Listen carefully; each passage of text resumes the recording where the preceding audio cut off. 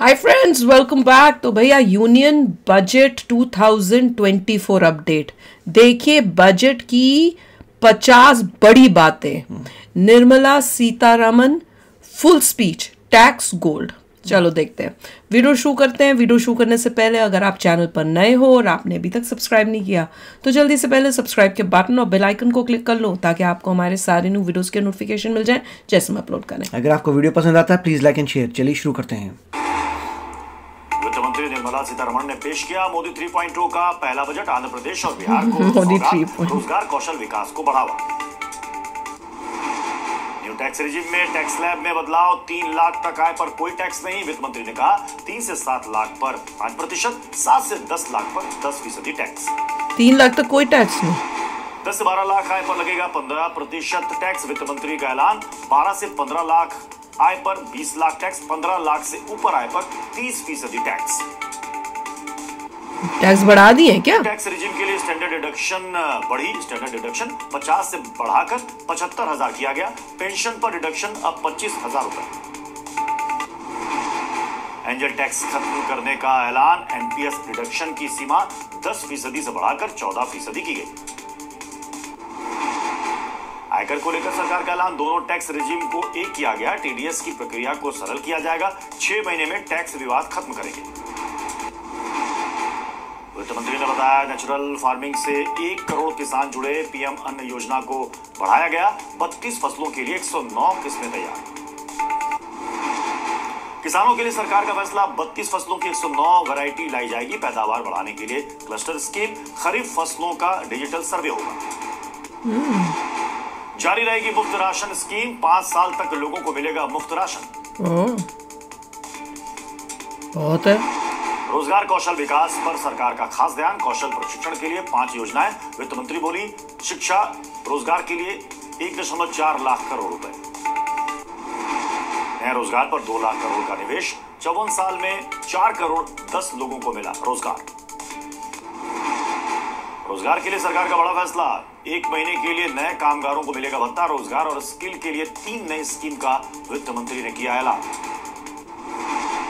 पहली स्कीम में पहली नौकरी वालों को मिलेगा फ़ायदा पहली नौकरी की पहली सैलरी सरकार देगी। है? क्या मतलब? वित्त मंत्री का ऐलान ईपीएफओ में रजिस्टर होने पर पचास हज़ार इंसेंटिव एक लाख की सैलरी पर तीन हज़ार पीएफ प्रोविडेंट फंड शिक्षा के लिए सरकार का बड़ा ऐलान वित्त मंत्री ने कहा उच्च शिक्षा के लिए 10 लाख तक का लोन अच्छी और रिसर्च वाली पढ़ाई पर रहेगा फोकस छात्रों को मिलेगा सरकारी स्कीम का फ़ायदा। दस लाख का लोन है सरकार ने अंतर्राष्ट्रीय कंपनियों में इंटर्नशिप की योजना का भी किया ऐलान। निवेश के लिए इन्वेस्टर पार्क बनाया जाएगा 500 टॉप कंपनी में युवाओं को इंटर्नशिप मिलेगी।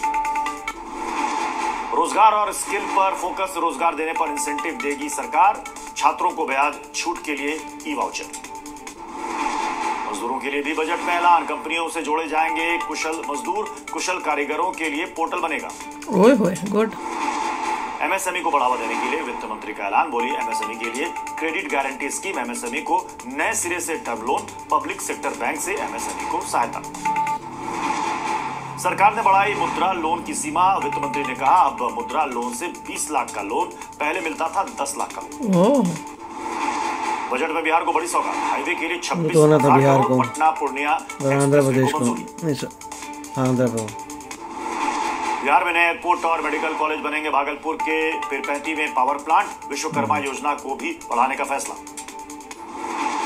बिहार में गया नालंदा में पर्यटन को बढ़ावा जैन मंदिरों का विकास किया जाएगा। विष्णुपद मंदिर और महाबोधि मंदिर का विकास होगा। बक्सर में गंगा नदी पर बनेगा दो लेन का पुल बोध गया से राजगीर और गया से दरभंगा के लिए सड़क निर्माण योजना।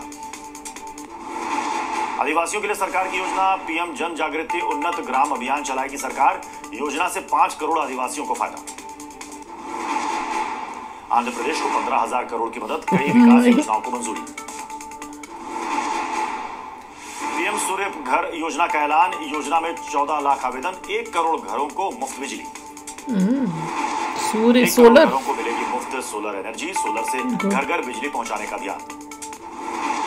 पीएम आवास योजना के तहत दिए जाएँगे एक करोड़ नए घर प्रॉपर्टी लागत कम करने पर फोकस छोटे शहरों के विकास के लिए भी सरकार की घोषणा वित्त मंत्री निर्मला सीतारमण ने कहा चौदह बड़े शहरों का विकास किया जाएगा सौ बड़े शहरों में साफ़ पानी की योजना। साफ़ पानी नहीं आ रहा था बड़े अच्छा फोकस महिलाओं के लिए हॉस्टल बनेंगे शिशु गृहों की स्थापना की जाएगी। कैंसर की तीन दवाएँ कस्टम ड्यूटी फ्री होंगी एक्सरे मशीन के लिए कस्टम ड्यूटी में छूट। सोना चांदी से इम्पोर्ट ड्यूटी हटाई गई सोना चांदी सस्ता होगा मोबाइल फ़ोन चार्जर कपड़े जूते हुए सस्ते। अरे वाह। सोलर सेल और पैनल का निर्माण सस्ता लिथियम बैटरी भी होगी सस्ती। अंतर्राष्ट्रीय अर्थव्यवस्था को चुनौती फिर भी भारत की अर्थव्यवस्था चमक रही है वित्त मंत्री ने कहा देश में महँगाई कम हो रही है। महँगाई की दर तीन से चार फ़ीसदी पर मौजूद रोज़गार के मौके के लिए सरकार के पास पाँच स्कीम, वित्त मंत्री बोली, बेहतरीन रास्ते पर है देश। केंद्र सरकार का युवाओं और किसानों पर फोकस, कृषि के क्षेत्र में रिसर्च बढ़ा, विकसित भारत ही सरकार का मकसद। पीएम मोदी ने बजट को समाज को शक्ति देने वाला बताया, नौजवानों को मिलेंगे अनगिनत अवसर, मैन्युफैक्चरिंग, इंफ्रास्ट्रक्चर पर ज़ोर। शिक्षा स्किल को नया स्किल मिलेगा। पीएम मोदी बोले, बिना गारंटी मुद्रा लोन की लिमिट 20 लाख की गई, छोटे कारोबारी, पिछड़ों को इससे फ़ायदा होगा।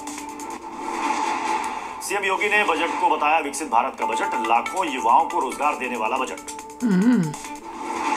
केंद्रीय मंत्री गिरिराज सिंह का बजट पर बयान, कहा, पूरे देश के लिए एक संतुलित बजट। बजट पर टीएमसी सांसद कल्याण बनर्जी का सरकार पर निशाना कहा यह देश का नहीं, कुर्सी बचाओ बजट। है मुझे बोलना ही बजट है। को लेकर केंद्रीय मंत्री किरण रिजिजू का विपक्ष पर वार कहा इतना अच्छा बजट बार बार देखने को नहीं मिलता। बजट पर समाजवादी पार्टी अध्यक्ष अखिलेश यादव का बयान बीजेपी पर साधा निशाना पूछा ये ना उम्मीदी का बजट है? उम्मीदी का बजट क्या होगा? इमरान मसूद का मोदी सरकार पर प्रहार बोले नीतीश और चंद्रबाबू से डरा हुआ है बजट। इनका अपना कोई विजन नहीं। बजट को लेकर कांग्रेस सांसद शशि थरूर का बीजेपी पर हमला कहा ये एक निराशाजनक बजट है।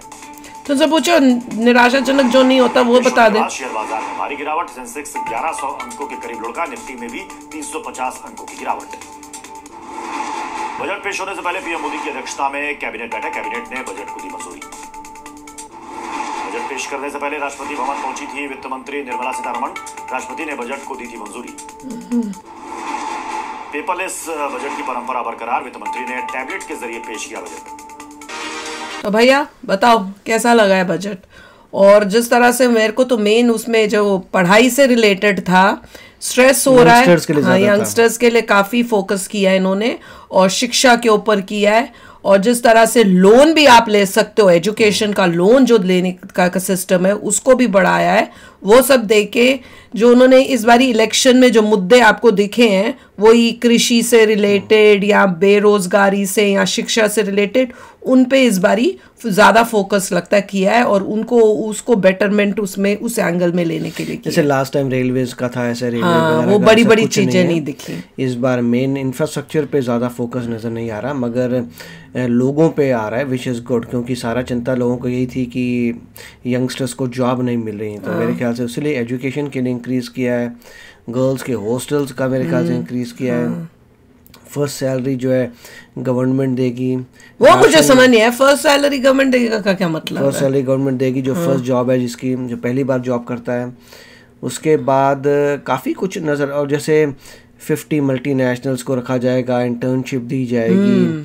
अलग से पोर्टल बनाएँगे स्किल्ड वर्कर्स के लिए। वो बहुत अच्छा था। और तो मतलब काफ़ी कोशिश कर रहे हैं यंगस्टर्स को जॉब देने के लिए वही देखने की कैसे होता है हुनर तो पैदा करे पहले यंगस्टर्स हाँ तो वो स्किल भी तो उसके लिए वो का वो वो वो पाथवे बना रहे हैं कि हुनर करो ताकि आपको जॉब मिले। ये नहीं कि फोकड़ की तुमको जॉबें पकड़ा देंगे। और मेहनत क्योंकि हाँ। कोलिशन में है तो ऑब्वियस था कि बिहार को कुछ जाएगा स्पेशल बजट वो गया आंध्र प्रदेश को जाएगा तो उनको तो गया। दो उन दोनों को फोकस तो जिन लोगों ने कहा था कि गवर्नमेंट मतलब सीट रखने के लिए वो तो आपको करना पड़ता करना है पड़ेगा क्या में। कर सकते हैं? तो वो तो था। चलिए उन स्टेट्स का थोड़ा सा भला हो जाएगा सुधार हो जाएगा। एज लॉन्ग एज वहाँ करप्शन ना हो तो लोगों तक वहाँ पर भी हेल्प पहुँचती है।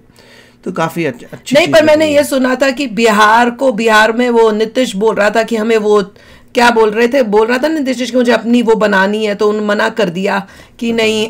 नालंदा यूनिवर्सिटी में टूरिज़्म हाँ, वहाँ पे वो- अच्छे आगे होंगे। बेटरमेंट था। तो सुधार तो होगा ही। पर देख के अच्छा लग रहा है वो बड़ी बड़ी चीज़ें नहीं सुनने को मिली। एटलीस्ट इस वीडियो में तो सुनने को नहीं मिली। जैसे पहले था कि डिफेंस सेक्टर में इतना बढ़ाएँगे या मतलब इंफ्रास्ट्रक्चर में और ये ये होगा वो सब अभी इस एटलीस्ट इस वीडियो में तो नहीं सुने इसमें वो छोटी चीज़ों पे ज़्यादा फोकस किया है क्योंकि ये इलेक्शंस की वजह से है। ये सब जो आप डिफरेंस अब देख रहे हो ये इलेक्शन वोटिंग की वजह से हो रहा है।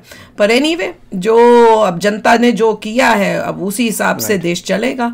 तो चलो आप भी शेयर करना अपने थॉट्स चलते हैं। मिलेंगे नेक्स्ट वीडियो में। बहुत ही चाल till then take care and bye bye तो अगर आप मेरे इस चैनल पे नए हो तो जल्दी से सब्सक्राइब के बटन को हिट करो और बेल आइकन को क्लिक करो। ताकि आपको मेरा जब नया वीडियो मैं लगाऊँ, आपको उसके बारे में जल्दी से पता चल जाए।